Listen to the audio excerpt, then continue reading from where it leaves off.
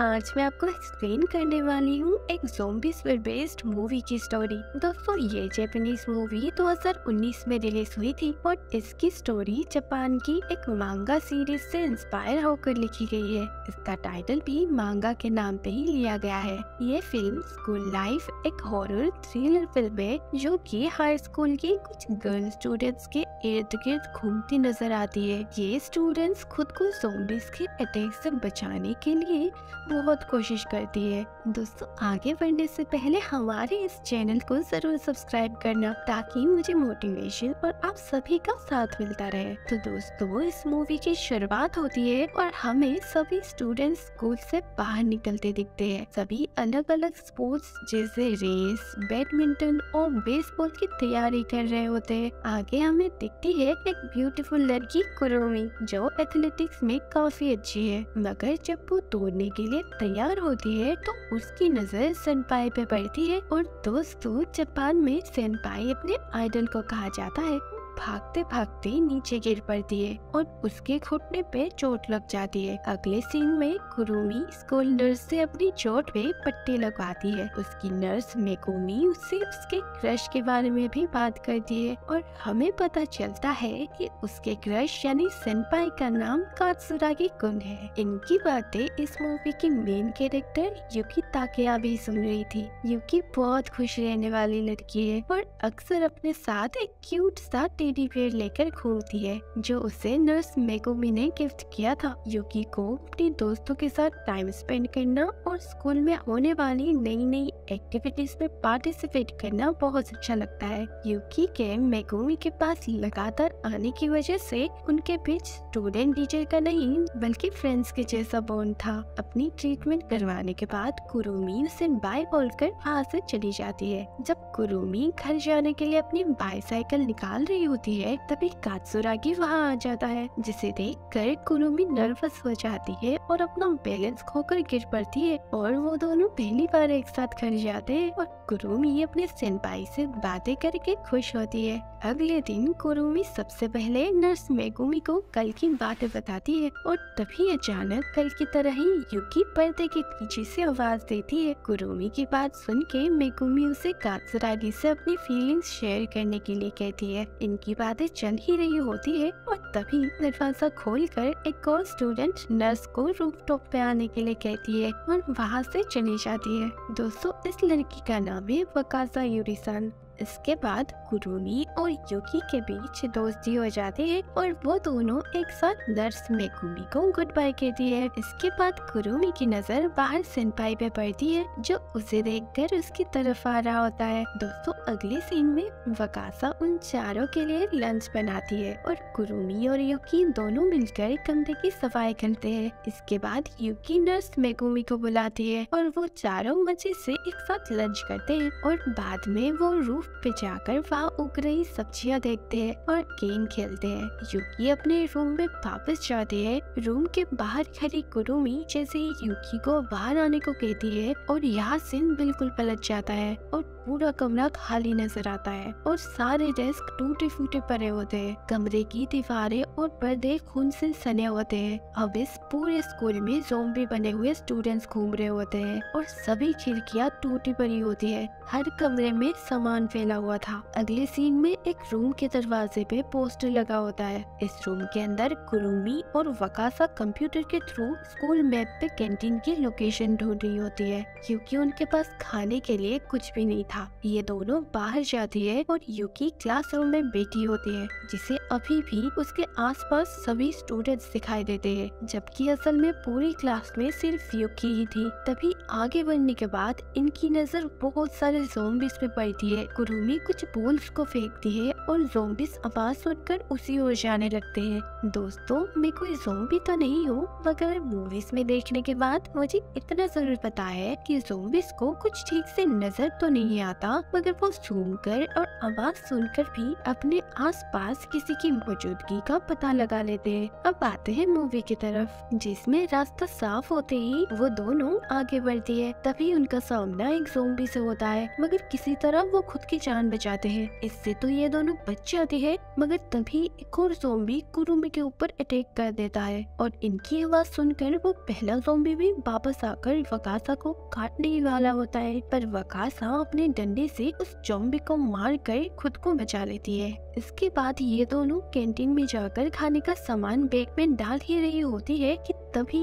एक अनजान लड़की कुरुमी के ऊपर अटैक कर देती है। वकासा और कुरुमी इसे भी जोम्बिस समझ कर मारने ही वाले होते हैं, मगर इन्हें पता चलता है कि अभी तक ये जोम्बी से बची हुई थी। इसलिए वो इसे भी अपने साथ ले जाते हैं और इसकी बॉडी को अच्छे से चेक करते हैं और कंफर्म हो जाता है कि ये इन्फेक्टेड नहीं हुई है। दोस्तों, इस लड़की का नाम है मीची, जिसके आने के बाद अब ये पाँच हो चुके थे। मीची इन सबको ऐसे सिचुएशन में भी इतना खुश देखकर हैरान होती है। अगली सुबह योगी और कुरुमी रूफ पे जाकर मीची को कहती है कि देखो, यहाँ से ये दिखने वाला नज़ारा कितना सुंदर है। मगर मीची को तो बस बाहर भटक रहे जोम्बी पुलिस और इधर उधर फैली हुई तबाही के अलावा कुछ नहीं नज़र आ रहा था। इसके बाद जब युकी मीची के साथ नीचे जाती है तो वहाँ वो किसी से बात करने लगती है, जबकि मीची को वहाँ कोई भी नज़र नहीं आ रहा था। इसलिए वो कुरुमी और पकासा से इस बारे में बात करती है। तो हम स्टोरी में वही सीन देखते हैं, जिसमें कुरुमी अपने सेनपाई को देखकर हाय कहती है।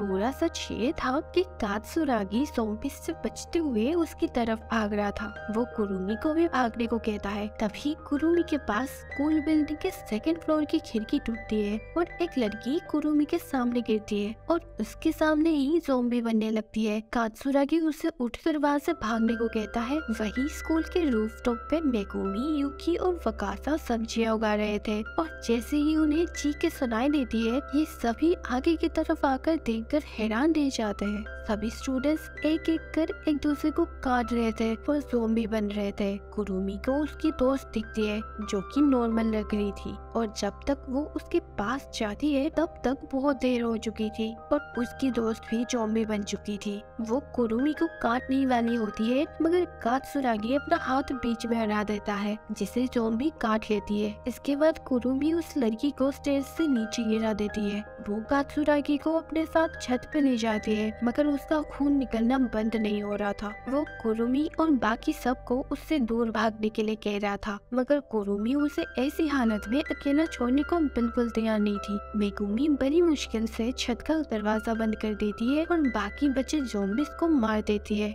मगर युकी ये सब होते देखती है और उसके दिमाग पे इसका बहुत बुरा असर पड़ता है और यही वजह थी कि उसकी ऐसी हालत हो गई थी और इसी बीच कातसुरागी भी पूरी तरह जोम्बे बन गया था। गुरुमी अपने दिल पे पत्थर रख कर कातसुरागी को मार देती है। उसके बाद स्टोरी वापस प्रेजेंट में आती है और रात बहुत हो गई थी, इसलिए वो सभी सो जाते हैं। मीची इनकी तरह वहाँ इतने दिनों तक नहीं रहना चाहती थी, इसलिए वो उन्हें बिना बताए ही वहाँ से बाहर निकलने का प्लान एग्जीक्यूट कर दिए। मगर कुरुमी उसे देखते ही उसे बताती है कि यहाँ से बचकर निकलना इतना आसान नहीं है। हमें मौके का इंतज़ार करना चाहिए। मीची उसे बिना बताए ही स्कूल के लाउड स्पीकर को ऑन करके उसमें गाना प्ले कर देती है, जिसे रोकने के लिए युकी भी उसके पीछे आती है। वही दूसरी तरफ़ वकासा और कुरुमी जल्दी से कंट्रोल रूम में जाकर गाना बंद कर देती है। इसके बाद सभी जोम्बिस युकी की तरफ़ आने लगते हैं। और उनसे बचने के लिए वो दोनों कार के ऊपर चढ़ जाते हैं। कुरुमी उनकी मदद के लिए वहाँ आती है और उन्हें डिस्ट्रैक्ट करने की कोशिश करती है। तो वही कंट्रोल रूम में वकासा फिर से लाउड स्पीकर ऑन कर देती है। जोम्बिस के डिस्ट्रैक्ट होते ही अचानक यूकी को ये सभी जोम्बिस नहीं, बल्कि एक रेस की तरह दिखता है और वो मीची का हाथ पकड़कर वहाँ से भागने में उसकी मदद करती है। मीची उसकी जान बचाने के लिए यूकी को दिल से थैंक यू कहती है और एक दूसरे से बात करके उनके बीच दोस्ती हो जाती है। अब ये लोग मिलके काम करते हैं और कुरुमी और मीची स्कूल के स्टोरेज रूम की तरफ़ जाने का नाश्ता साफ़ करने के लिए रास्ते में आने वाले जोम्बिस को मार मार कर उनकी छुट्टी कर देती है। फाइनली ये चारों स्टोरेज रूम में पहुँचती है, जो कि खाने के सामान से भरी पड़ी थी। यहाँ आकर वो सभी बहुत खुश होती है और जितना हो सके उतना सामान अपने साथ इकट्ठा करने लगती है। मगर इसी बीच एक जोम्बी कुरुमी के सामने आ जाता है और ये कोई और नहीं, बल्कि उसका क्रश कात्सुरागी था। कुरुमी उस पर हमला नहीं कर पाती है, मगर कात्सुरागी उस पर अटैक करके उसे काटने की कोशिश करता है। तभी वकासा वहाँ आ जाती है और अपने हथियार से उस जोम्बी को मारकर कुरुमी को बचा लेती है। अगले सीन में हम देखते हैं कि ये चारों बहुत सारे सील्ड फ़ूड कैंस की फोटोग्राफ्स क्लिक करती है और मज़े से रात को एक साथ खेलती भी है। अब इन्हें खाने की चिंता करने की ज़रूरत नहीं थी, इसीलिए ये सभी रूफ पे मौजूद सब्जियों का भी ध्यान रखती है और जोम्बिस के ऊपर आने के रास्ते को ब्लॉक कर देती है। इन्हें कुछ दिन ऐसे ही बीत जाते हैं और ये मिलकर स्कूल की सेरेमनी सेलिब्रेट करने का डिसाइड करती है। क्योंकि नर्स मेकुमी को भी अपने साथ लेकर आती है। मगर तभी एक जोम्बी के हाथ में लाइटर आ जाता है और कुछ देर बाद स्कूल के सभी फायर अलार्म बजने लगते हैं, जिन्हें सुन के बाहर घूम रहे सोम्बी स्कूल की तरफ़ बढ़ने लगते हैं। ये लोग बिना टाइम वेस्ट किए नीचे अलार्म रूम चेक करने जाते हैं, मगर तभी वहाँ आग लग जाती है और जोम्बिस भी उनके पीछे पड़ जाते हैं। वो सब उनसे लड़ने की कोशिश तो करते हैं, मगर वहाँ इतने सारे जोम्बिस थे कि उनका बचना इम्पोसिबल लग रहा था। बीची और वकासा रूफ की तरफ़ आती है, पर वहाँ भी हर क्लासरूम में जोम्बिस ही जोम्बिस भरे पड़े थे। ये कैसे भी करके स्कूल लिविंग क्लब के रूम में जाकर दरवाज़ा बंद कर देते हैं। वही दूसरी तरफ़ युकी अकेली हो गई थी और मेगुमी भी उसके साथ नहीं थी। इसके अलावा कुरुमी भी अकेली ही छत पे भाग रही थी और उसके पीछे जोम्बिस पड़े होते हैं। वो किसी भी तरह जल्दी से ऊँची जगह पे चढ़ जाती है। स्कूल में लगी आग अब बढ़ती जा रही थी और वही जोम्बीस वकासा और मीची के कमरे का दरवाज़ा तोड़ देते हैं और एक जलता हुआ जोम्बी यूकी की तरफ़ आने लगता है। कुरुमी जो कि छत पे अकेली थी, उसके चारों तरफ़ जोम्बिस उसे मारने के लिए खड़े थे। कुरुमी पूरी तरह हिम्मत हार चुकी थी, मगर तभी उसे उसके साइड में उसका क्रश कात्सुरा के बेटा दिखाई देता है। वो उससे पूछता है कि तुम इतनी निराश क्यों दिख रही हो? कुरुमी उससे कहती है मैंने जोम्बी से बचने की पूरी कोशिश की, मगर अब मुझे नहीं लगता कि अब हम में से कोई भी बच पाएगा। कात्सुरा की उसे समझाता है कि तुम्हें हिम्मत रखनी चाहिए। तुम्हारे दोस्तों को तुम्हारी ज़रूरत है। तुम एक स्ट्रॉन्ग एथलीट हो और तुम कर सकती हो। मैंने तुम्हें पसंद करने की एक बड़ी वजह ये थी कि तुम कभी भी हार न मानने वाली लड़की हो। ये सुनने के बाद कुरुमी आँखें बंद करती है और उसमें अलग ही एनर्जी ट्रांसफ़र होती है।